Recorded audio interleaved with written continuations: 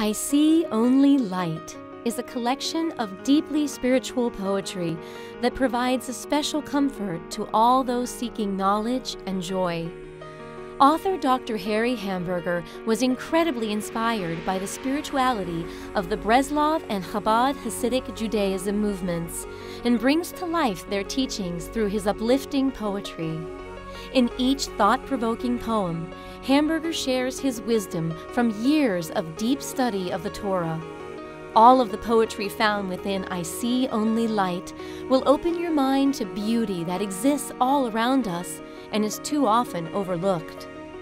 This collection is complemented by Dr. Shoshannah Brombacher's beautiful art. The vibrant colors and vivid imagery brings the poetry to life in a unique and moving way. Though we live in a material world, within all things lives a holy, infinite light. Read this inspiring book of poetry and find the light that dwells within us all.